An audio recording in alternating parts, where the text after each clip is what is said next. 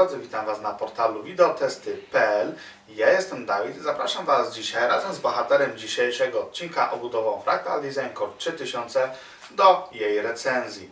Jeżeli chodzi o samą obudowę, to część tutaj już elementów związanych zarówno e, z jej takimi e, cechami widzieliśmy już w samym rozpakowaniu, do którego Was tutaj serdecznie zapraszam i odsyłam. Natomiast dzisiaj krótkie e, takie zbiorcze podsumowanie tych cech, o których już wiemy, a także kilka informacji nowych. Obudowa posiada meszowy przód z filtrem przeciwkurzowym. Fabrycznie została tutaj wyposażona w jeden wentylator zasysający chłodne powietrze do środka obudowy. I tutaj taka od razu spostrzeżenie samej recenzji. E, niestety, ale czyszczenie tego filtra wymaga zdjęcia panelu frontowego. Jest to dość uciążliwe i po stosunkowo nawet niedługim czasie e, mam tutaj widoczny okrągły ślad e, już skórze, który dość no, negatywnie wygląda, jeżeli chodzi o takie wrażenie wizualne.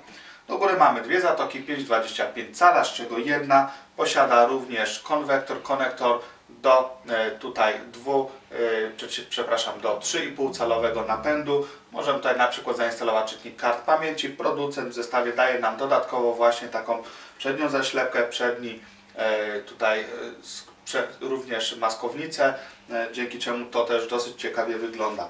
Na górze obudowy mamy wyjście słuchawkowe, wejście mikrofonowe, diodę sygnalizującą pracę dysku twardego, niewielki i dość głęboko umieszczony przycisk reset, płytki włącznik z diodą pracy w samym włączniku oraz cztery porty USB jeszcze w standardzie 2.0. Góra obudowy, ta pozostała część to dwa miejsca na opcjonalne wentylatory 120 lub 140 mm. Na stoku został tutaj przez producenta zainstalowany jeden 140 mm wentylator. Panel boczny jest pełny, natomiast drugi posiada również otwór pozwalający nam na instalację opcjonalnego wentylatora 120 lub 140 mm. Dodatkowo jest on tak wytłoczony, podobnie jak e, te miejsca na wentylator opcjonalne na topie obudowy dla dodatkowego usztywnienia blachy. Sobie od razu zdejmiemy cały ten panel boczny. E, co do samej sztywności blachy, no zobaczcie, ona jest tutaj dosyć sztywna, jest naprawdę wystarczająca. E, blacha tutaj użyta jest dosyć dobrze wykonana, nie ma tutaj problemu z jakimiś ostrymi krawędziami nie ma e, również problemu z jej nadmiernym brudzeniem, ponieważ całość jest matowa. Tył obudowy prezentuje się dość standardowo. Mamy instalowany na dole zasilacz, który oczywiście jest dodatkowo wyposażony w filtr przeciwkurzowy, e, siateczkowy. Nie ma jakichś większych problemów z ich montażem i tutaj nawet taka uwaga na plus dla tej obudowy, mimo iż jest to system taki sam dokładnie jak w Fractal Design R3 y, to został on na tyle zmodyfikowany, że instalacja samego e, filtra jest troszeczkę wygodniejsza. Mamy dodatkową siateczkę pozwalającą nam na poprawienie wentylacji w obudowie. Z tyłu został również przez producenta umieszczony 120 mm wentylator, a nad nim znajdują się dwa przepusty na węże do chłodzenia cieczą, dodatkowo zabezpieczone gumowymi kołnierzami. Jeżeli chodzi o obsługiwane standardy płyt głównych, tutaj mamy standardowo ślednem śledzina, karty rozszerzeń i obudowa wspiera e, płyty od mini ATX, micro ATX, a także pełnowymiarowe ATX. Na dole obudowy mamy cztery dosyć wysokie nóżki, których wysokość wynosi tutaj razem z taką pianką antypoślizgową prawie 2 cm. Jest to ilość wystarczająca nawet do postawienia obudowy na dość grubym dywanie. Poza oczywiście miejsce na wentylator od zasilacza oraz filtrem mamy dodatkowe miejsce na instalację również opcjonalnego 120 mm wentylatora. E, jednak tutaj taka informacja, iż ten nie posiada żadnego filtru przeciwkurzowego. Instalując taki wentylator musimy się dodatkowo e, filtr najlepiej zabezpieczyć. Wnętrze obudowy jest lakierowane na czarno. Tutaj mamy już złożony przykładowy zestaw do testowania tej obudowy. E, widzimy, iż miejsca jest stosunkowo niedużo. E, jeżeli chodzi o instalację karty graficznej, to taka tutaj podstawowa informacja. E, mamy zainstalowaną kartę Asusa GTX 660 i tutaj zostaje nam bardzo niewiele miejsca, jeżeli chodzi o instalację samej karty. Gdyby port zasilający kartę był umieszczony z tyłu karty, był już problem z kablami. Zobaczmy więc ile tutaj de facto jest miejsca. Zobaczcie, 26,5 cm to jest absolutny max, jeżeli chodzi o instalację tej karty graficznej na takich długościach.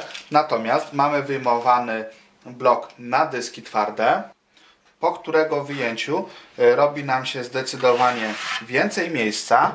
Zobaczcie jak teraz wygląda przestrzeń w obudowie. Tu już jest w tym momencie lepsza wentylacja i mamy też sporo więcej miejsca na instalację dodatkowych kart graficznych czy dłuższych kart graficznych, bo ze spokojem nawet karty o długości powyżej 30 cm do tej obudowy wejdą. W tym momencie pozostaje nam jednak możliwość instalacji tylko trzech napędów, trzech dysków twardych, 2,5 lub 3,5 calowych. Natomiast razem właśnie e, z dodatkowym blokiem mamy takich miejsc 6. Każdy napęd instalowany jest w niewielkich sankach, gdzie mamy dodatkową możliwość w przypadku napędów tych 3,5 calowych e, dodatkowo wygłuszenia pracy dysku właśnie takimi e, gumowymi e, tutaj kołkami wyciszającymi. Co do możliwości instalacji niereferencyjnych chłodzeń, to tutaj w naszym zestawie testowym zostało zastosowane chłodzenie Silentium PC Fera Pro 1224, a maksymalna wysokość tego możliwego do zainstalowania chłodzenia, tak rozsądnie, to jest do 16 cm. Chłodzenie o wysokości 17 cm, tutaj już nie ma możliwości, żeby weszło do tej obudowy.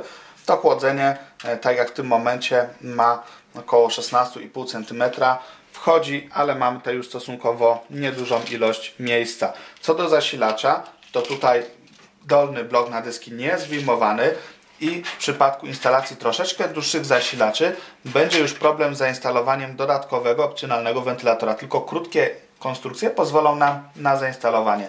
Ten zasilacz posiada długość niecałych 17 cm, 16,5 cm, także mocniejsze konstrukcje już nam tutaj absolutnie nie pozwolą na instalację dodatkowego wentylatora właśnie na dole obudowy.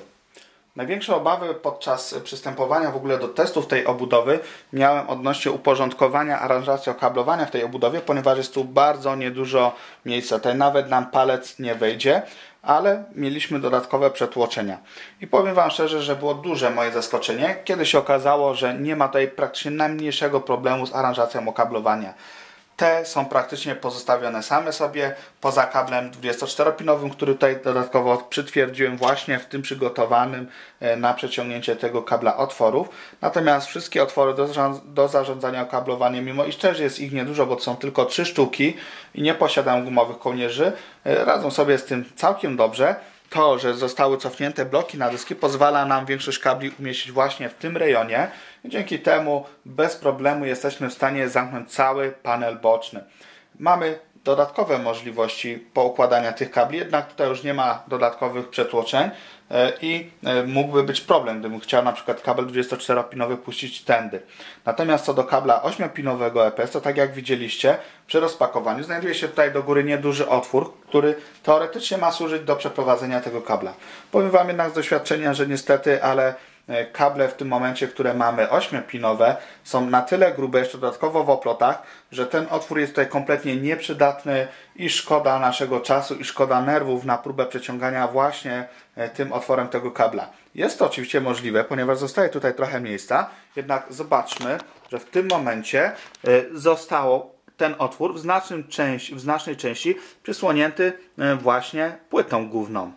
Co do możliwości instalacji niereferencyjnych chłodzeń bez wyjmowania płyty głównej, to tutaj otwór jest na tyle duży i na tyle wygodny, że wymiana backplate'u nie powinna tutaj nikomu sprawić nawet najmniejszego problemu. W tym momencie mamy okazję chwilę posłuchać jak głośna jest ta obudowa.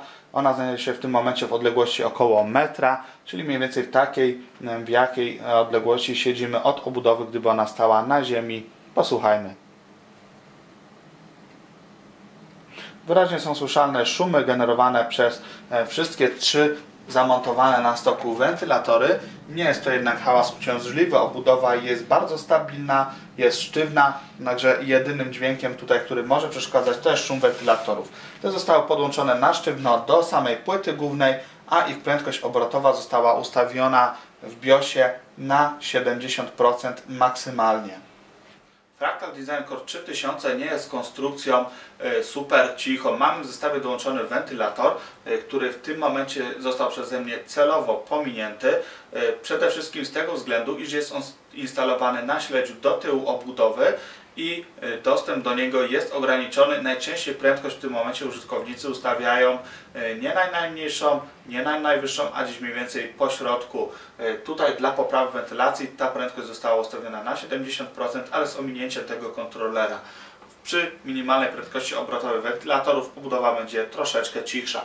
Ta jest jednak dość ażurowa i nie jest to konstrukcja kierowana dla miłośników ciszy. Co natomiast do parametrów e, takich bardziej typowo testowych, jeżeli chodzi o temperatury, to tutaj e, takim wyznacznikiem była temperatura procesora i w porównaniu do rozwiązań konkurencyjnych o dziwo okazało się, że nie jest to obudowa także i najchłodniejsza.